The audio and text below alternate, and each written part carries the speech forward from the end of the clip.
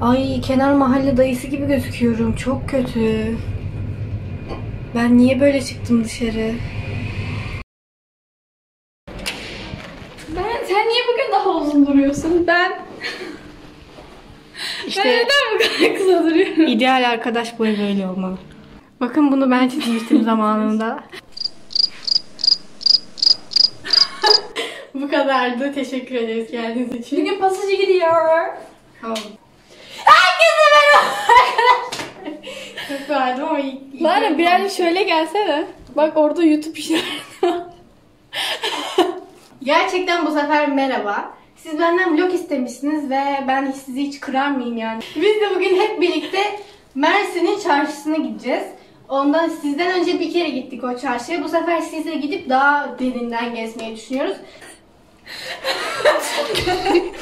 Ee, arkadaşımız hakkı rahmetine kavuşmuştur. Ee, bilgilenme bölümüne hoş geldiniz. Arkadaşlar ayva çekirdeğini suyun içine koyup bir süre bekletirseniz böyle jel kıvamı oluyor. Ve bunu yüzünüze sürdüğünüz zaman beyazlatıyor yüzünüzü. Sivilceleri geçirmiyor muydu? Beyazlatıyor diye biliyorum. Ben sivilceleri geçiriyor diye bir etkisi Benim de var annemin biliyorum. yarısı bir farklı yarısı farklı ton olduğu için şimdi bunu deniyor. Ya ben o yüzden öyle biliyorum. Neyse işte ayva, ayva. ayva çekirdeğinin böyle faydaları var. İnternetten araştırabilirsiniz. Bu da size bilgi olsun. Görüşürüz. Uçan yere.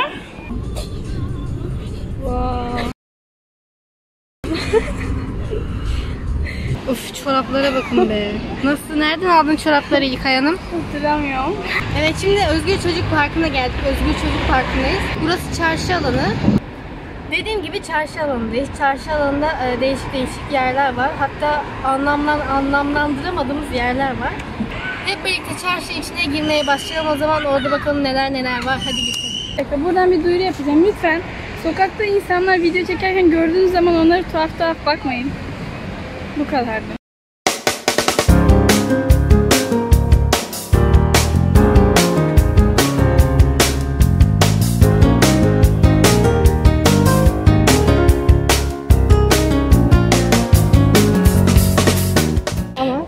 Yeniyor. Bence gitgide yeniyorlar ha. biliyorum. evet yeniyorsun şu an. En başta daha kötüydün. Ya şu an şöyle...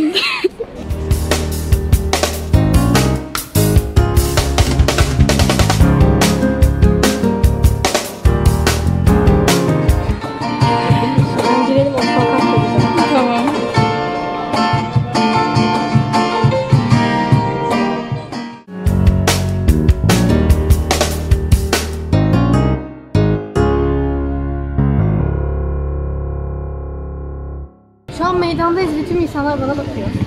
Elbise çok güzelmiş. Bence güzel. Bence de güzel. Şu fileli olan. Aynen. Meydanımızın daha havalı bir havası var. Yakınlarda Atatürk evi var. Yanlış hatırlamıyorsak. O yüzden şimdi Atatürk evine bakmaya gidiyoruz. Şurası da belediyeydi galiba.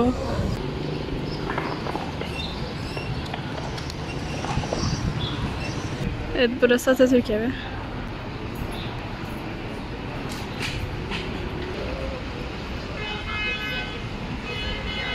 Atatürk evine şu an giremiyoruz ama size söz veriyorum. Bir gün ayarlayıp Atatürk evinin içine de gireceğiz.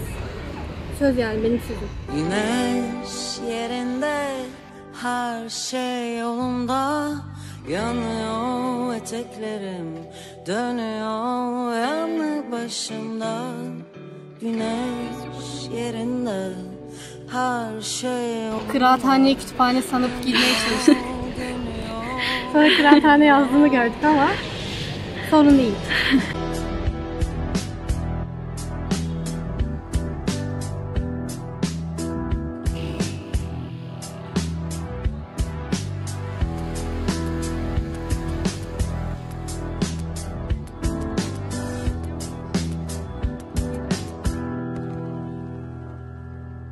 Denizin dövdüğü taşlara benzer Yüzümün aldığı haller Çevire kapatıyor tokadı suratıma Aklının içi aklının içine girer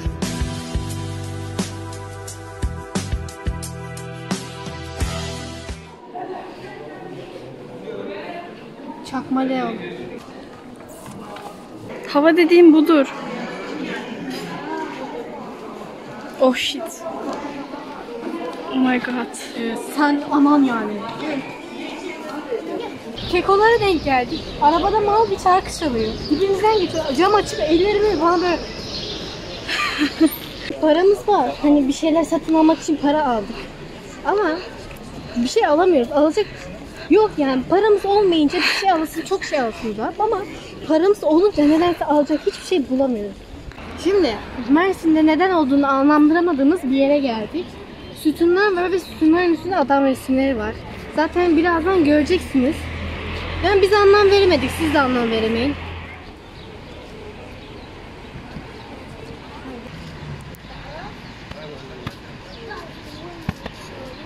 Tarihi Migros'a gidiyoruz. Arabası var. Güzel mi güzel.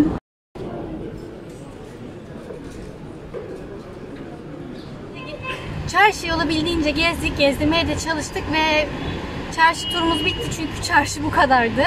Ee, dediğim gibi olabildiğince size aktarmaya çalıştık. Umarım güzel bir iş çıkarmışızdır. Sahil tarafına geçtik. Sahilden dediğim gibi eve doğru yürüyeceğiz.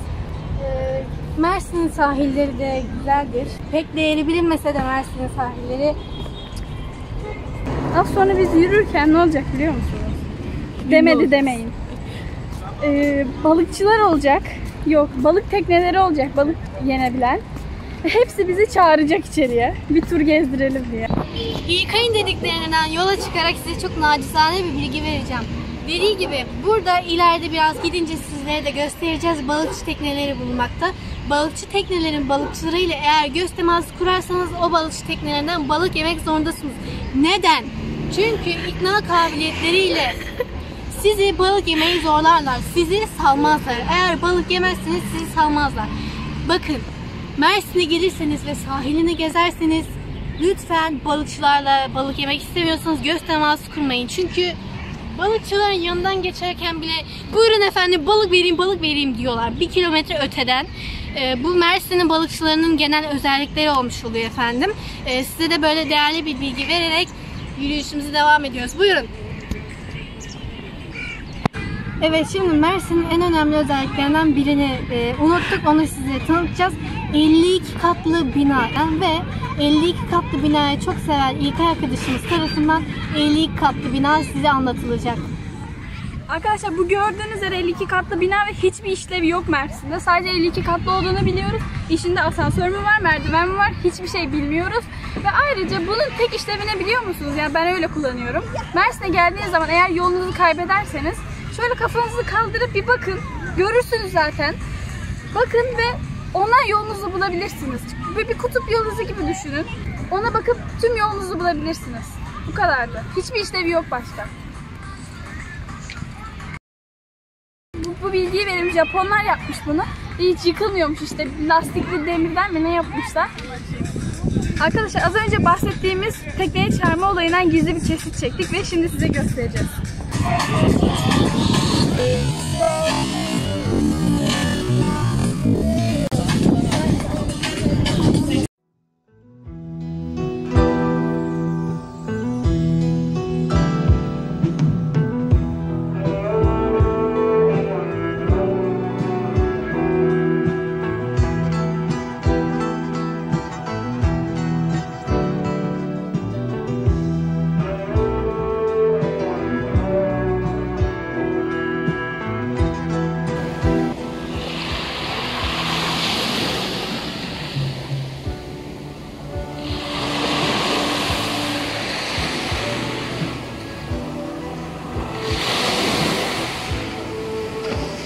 Evet bir iki başarıp alışveriş yapmayı başardık. Alışveriş dediğimizde bir iki şey aldık sadece. Aha wow. Benim kulağımdaki küpeleri de aldık kombinimle uygun olur diye. Allah marka veriyoruz. Allahu Ekber. İlkay'la arkadaşlık kolyesi aldık çilekti. Ne desene be.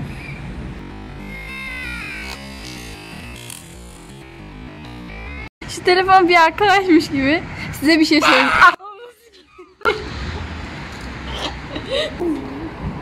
İlk ay.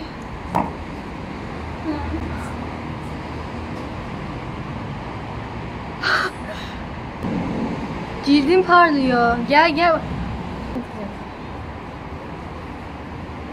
Aa çok güzel oldu. Olmadı mı? Oldu, oldu de. Bayıldım. Teşekkür ederim. Ciddiyetsiz olursam oha ben, ben oha ben de güzel şey. Tamam. Arkadaşlar biz bayağı yıldır arkadaşız ama böyle telefonla sohbet etmişliğimiz yok biliyor musunuz? Çünkü yapamıyoruz arkadaşlar. Yapamıyoruz oğlum. Başvurdum ajansa. Sonra birkaç gün sonra mail geldi. Dediler ki işte e, bir çikolata reklamından kabul gördünüz. İşte 10 kişi arasından seçmelerde kazandınız ve son 5 seçilecek. Bu yüzden fotoğraf çekimine gelmeniz gerekiyor dediler. Biz hep ben nasıl heyecanlıyım babama yalvarıyorum sefer. Sonra bizden 200 lirayı kitlediler bize 200 lirayı. Aldılar 200 lira. Hiçbir ses soluk yok. Hiçbir şey yok. İlkay. Bak. Ya Allah için söyler misiniz? İlkay aşırı kilolu mu? Lütfen ya. Asla güvenmiyorum.